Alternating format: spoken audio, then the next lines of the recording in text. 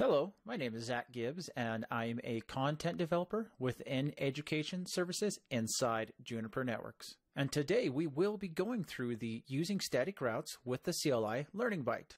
All right, so here's our example. In this example, we have a few different devices I want to talk about. First, we have VSRX1 and then VSRX2. Now, VSRX1 and VSRX2 are connected together through the GIGI 001 interface. And then VSRX1 is connected to the internet and also connected to the user with the interfaces shown on the screen. And then VSRX2 is then connected to the email server. And the other thing I want to point out is on the internet, we have an internet server. We are just using the 8.8.8.8 publicly accessible IP address. And so with the criteria for the example, what we want to do is we want to configure static routes on VSRX1 and VSRX2 in the CLI. Now, something I do want to point out here is this is going to be a generic configuration for any Junos device as far as configuring static routes in the CLI goes.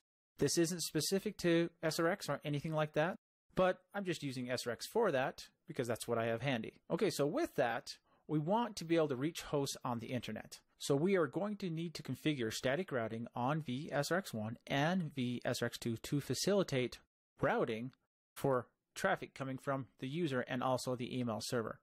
So we'll need to have them be able to reach the internet. And we'll do that just by pinging that server on the internet. Then user one needs to communicate with the email server. And so what we need to do there is we need to configure some static routing for that on VSRX1 to allow user one to get to the email server.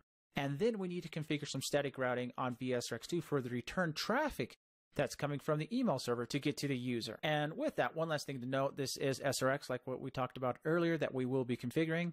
I've already configured the security policies and zones, so there's no need to worry about configuring anything security related with this learning byte. So with that, let's go ahead and jump to the CLI and get this going. All right, here is the CLI for SRX1. We do a show route, and we can see here that we only have local and direct routes in the inet.0 table. And so that means we need to configure some static routing. So to begin, let's jump into configuration mode and then go to the routing options, static hierarchy, and then we need to configure some static routes. So we can look in here, there's nothing configured, set route, 0 slash 0. So this will be the default route that allows everything to access the internet host and other things on the internet as well. Specify next hop, and we need to specify a 172.31.1.2. That's going to be the next hop that goes towards the internet router that's on the internet in that cloud. Then the next static route we need to set is we need to set a static route for the subnet for the email server. And something else we could do here is we could set a slash 32 route. So it's a route that is just for the IP address of the email server, but that's unnecessary. There might be some other hosts in the future on that subnet that we want some reachability to. So let's configure this as a slash 24 subnet with the static route. And we need to configure the next hop address, which is 10.5.5.1. Now that's the IP address that is on the VSRX2 interface that VSRX1 is directly connected to. And those are the two static routes we need to configure on VSRX1. Let's go ahead and commit that configuration. And let's look at the routing table. And here we can specify a protocol of static, so we don't have to look at all the other routes.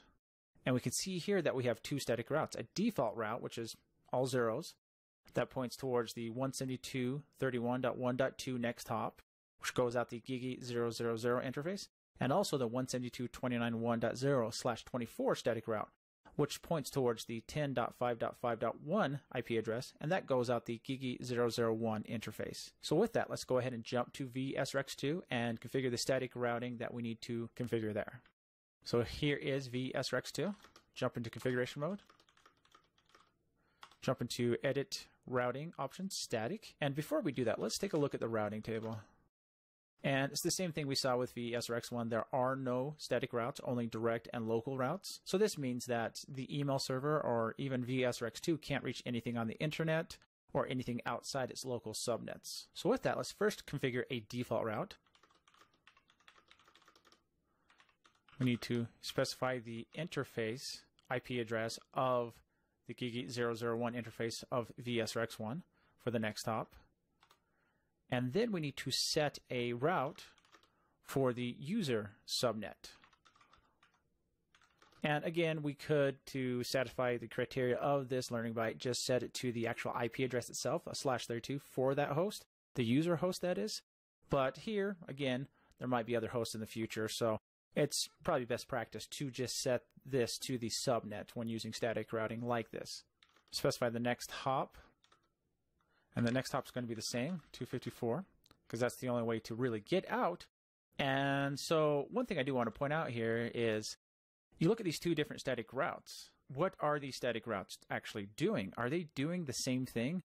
The first static route is routing all traffic out the GIGI 001 interface towards the 10.5.5.254 address. And the next route is routing user traffic out that same interface using the next hop of 10.5.5.254. That more specific route is actually completely unnecessary in this scenario. Now, there might be certain scenarios where it might be necessary, but in this scenario, it's completely unnecessary. So let's go ahead and delete that route. There's no need for it. So we can see here we only have the one default static route configured. That's all we need. Let's go ahead and commit the configuration. Let's look at the route table. Just look at static routes. We see we have one static route, and that's that default static route, and that's exactly what we need. It's using the GIGI 001 interface and it's going to the 10.5.5.254 IP address. So let's go ahead and jump to the virtual router device, which has a couple different routing instances that represent the user and the email server, and then test to make sure this works. So here is the virtual router device. Again, this is split up into multiple different routing instances or virtual routers that represent the user and email server. So first, let's try to ping that internet address using the user routing instance or virtual router. And we can ping it. That's exactly what we want to see. Perfect. So let's then see if we can ping the internet device using the email server. Again, we can ping it. That's perfect. We have communication. Okay, the next thing we need to check is to make sure we can ping the email server, which is 172.29.1.100, from the user device. And great, everything works perfect there. Now I'm going to leave that ping running because since this is VSRX, we can look at the flow table and look at a few more things there. All right, so we can see here that we have ICMP traffic coming in the GIGI 002 interface and going out the GIGI 001 interface. And if we jump to VSRX2, we can see something similar. And you can see that traffic is coming in the GIGI 001 interface and going out the GIGI 000 interface. So that brings us to the end of this learning byte. We demonstrated how to configure static routes using the CLI in this learning byte, as well as we verified those static routes and the functionality of those static routes using the CLI. So as always, thanks for watching. Visit the Juniper Education Services website to learn more about courses. View our full range of classroom, online, and e-learning courses. Learning paths, industry segment and technology specific training paths. Juniper Networks Certification Program, the ultimate demonstration of your competence. And the training community, from forums to social media. Join the discussion.